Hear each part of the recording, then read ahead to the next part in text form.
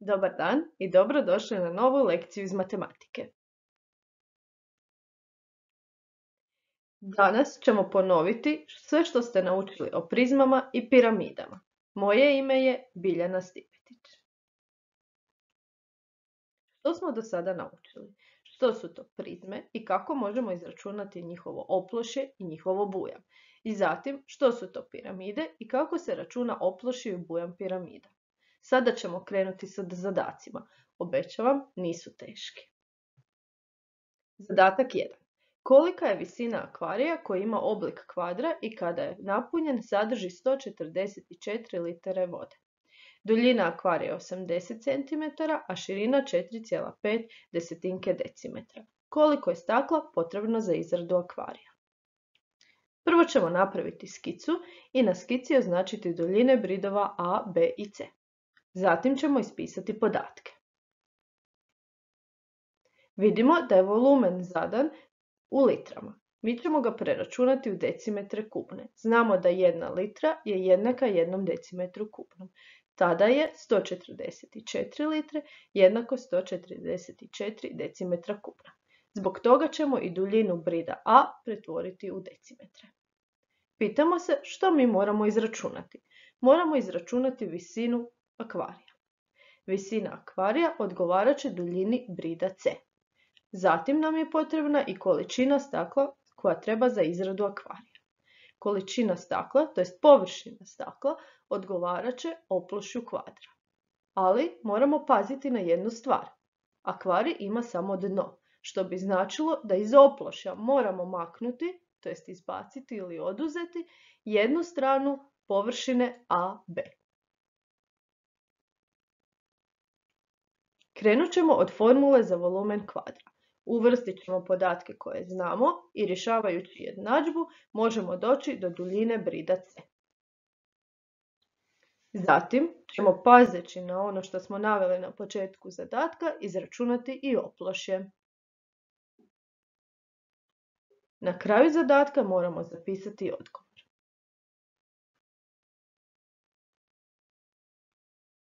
Zadatak 2.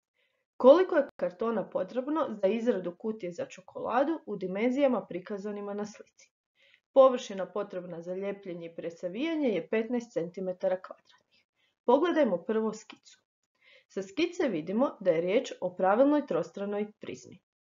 Baza te prizme je jednakostraničan trokut, duljine brida, to jest duljine stranice trokuta, 5,4 desetinke centimetra dok je visina prizme 30 cm. Pitanje, znate li o kojoj čokoladi riječ? Ispišimo podatke. Ako nas se traži površina kartona potrebnog za izradu kutije, mi moramo zapravo izračunati oplošje ove prizme. Oplošje prizme možemo izračunati na način da zbrojimo površine baza i pridodamo površinu pobočja. Krenimo prvo od baze. Površinu baze ćemo izračunati pomoću površine jednakostraničnog trokuta. Pazite da rješenje zaokružite na dvije decimale. Zatim ćemo izračunati pobočje. Pobočje je sačinjeno od tri pravokutnika kojem je jedna stranica 5,4 cm, a druga 30 cm. Kad smo dobili površinu baze i površinu pobočja, uvrstit ćemo ih u formulu za oplošje. Ipak, to nije konačno rješenje. Moramo paziti da u zadatku je naveden dodatni uvjet, to jest da je potrebno još dodati 15 cm kvadratnih koji su za ljepljenje i presavijanje. Pa je konačno rješenje 526,26 cm kvadratnih. Zadatak 3. Marko i njegova obitelj žele izraditi šator u obliku pravilne četverostrane piramide. Površina dna šatora treba biti 4 metra kvadratna, a kako bi im bilo lakše izrezati potreban materijal, sve bočne strane bit će jednako stranični trokuti. Koliko platna im je potrebno za izradu šatora? Zamislimo šator. Dno zapravo je naša baza piramide. Ako je površina dna 4 metra kvadratna, to znači da površina baze piramide je 4 metra kvadratna. Znamo da svaka pobočka je jednakostraničan trokut, što bi značilo da duljina osnovnog brida je jednaka duljini pobočnog brida. Treba nam površina platna, pa moramo izračunati opločje. Mi znamo da opločje piramide računamo na način da zbrojimo površinu baze i površinu pobočja.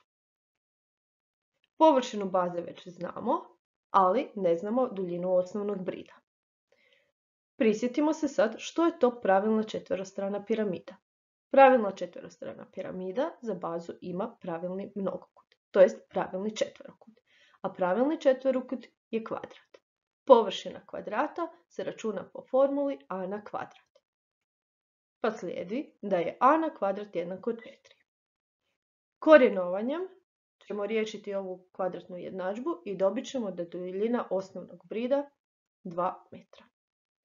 Sada kad znamo duljinu osnovnog brida, možemo izračunati pobočje. Pobočje se sastoji od četiri jednakostranična trokuta, pa ćemo koristiti formulu za površinu jednakostraničnog trokuta. Rješenje ćemo zaokružiti na dvije decimale.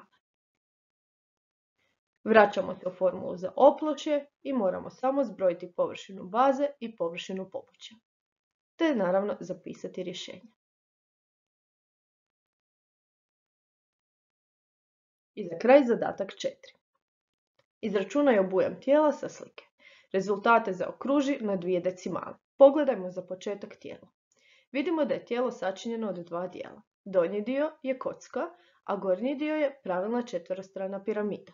Kako znamo da je donje tijelo kocka? Pa vidimo sa skice da sva tri brida, koja su nama označena, su jednake duljine. Gornje tijelo je pravilna četverostrana piramida. Zašto? Zato jer je baza kvadrat i vidimo da su pobočni bridovi jednake duljine. Ispišemo si podatke. Nama treba volumen cijelog tijela. Kako ćemo dobiti volumen? Pa na način da izračunamo volumen kocke i volumen piramide te ih zbrojimo. Krenimo prvo od volumena kocke. Volumen kocke možemo izračunati po formuli volumen je jednako a na treću i uvrstimo duljinu osnovnog brida. Zatim prelazimo na volumen piramide. Već smo rekli, zapravo nismo do sada, ali ste vi rekli u prethodnim lekcijama, da volumen piramide se može izračunati kao površina baze puta duljina visine i sve podijeliti sa 3. Prvo moramo izračunati površinu baze. Površina baze smo rekli da je kvadrat, pa koristimo formulu a na kvadrat. I e, sada dolazimo do malenog problema. Treba nam visina. Visinu možemo dobiti pomoću Pitagorinog poučka. Imamo površinu baze, imamo visinu, možemo sve uvrstiti u formulu i dobiti da je volumen piramide 120,75 cm kubnih. Kad imamo volumen kocke i volumen piramide, uvrstit ćemo ga u našu prvu formulu, to jest u ideju da ih trebamo zbrojiti i dobit ćemo volumen cijelog tijela. Eto vidite, zadaci nisu bili teški, a mi smo ponovili pa recimo pola gradiva koje ste vi učili. Ostatak u drugoj lekciji i vidimo se tada. Doviđenja!